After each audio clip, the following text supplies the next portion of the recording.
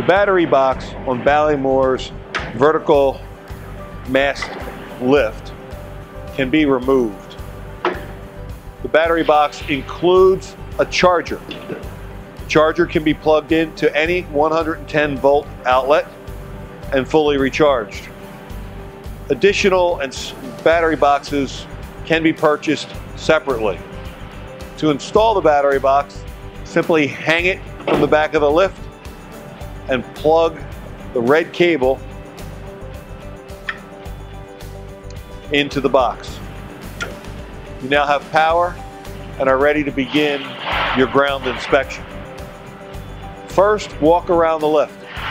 Make sure that there are no loose parts, that there's nothing broken, none of the cables are broken, that there's no hydraulic leaks.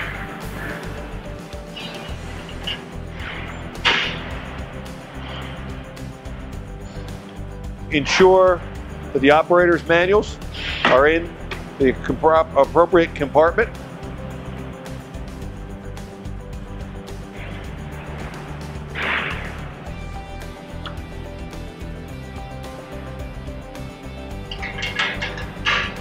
After inspecting the lift, you must deploy the outriggers.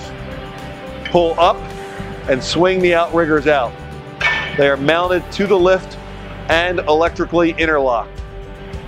Turn the key on prior to putting the outriggers out. Once an outrigger is fully engaged, a light will come on. Deploy all four outriggers.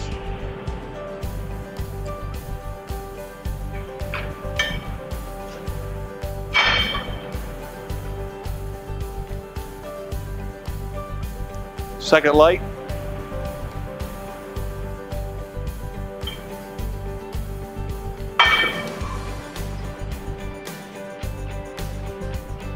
Third light.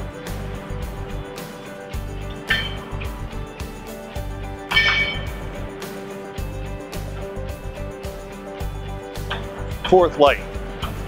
With all four outriggers deployed, it is now time to level the lift. The bubble level on the far right hand corner of the lift should be centered by adjusting the appropriate outrigger. Testing the ground controls.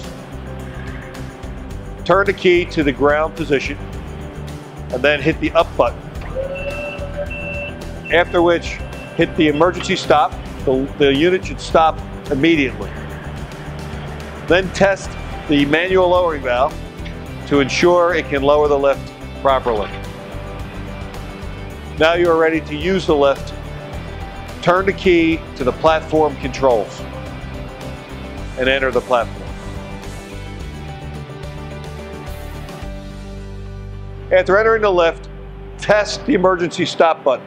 Push the button down, turn the moment switch to the up position, and hit the green power button.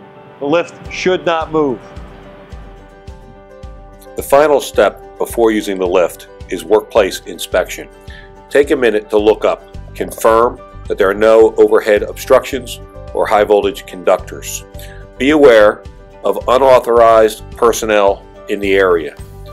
And finally, if you're outside, pay close attention to weather and wind conditions. The lift should never be used in poor weather conditions.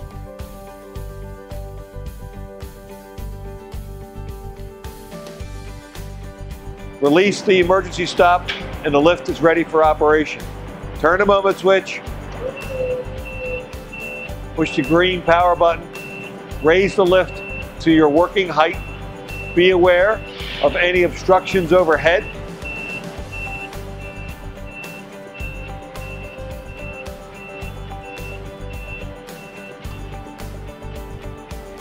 After completing your work, turn the moment switch to the down position.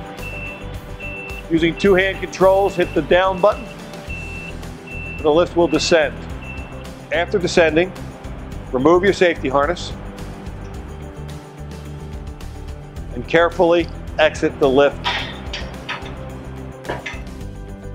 You are now ready to use your lift. Please remember to wear your safety harness at all times. Never climb on the rails or add anything to the lift to try to gain additional height. The most important thing to remember from a safety perspective is to use common sense and always be aware of your surroundings.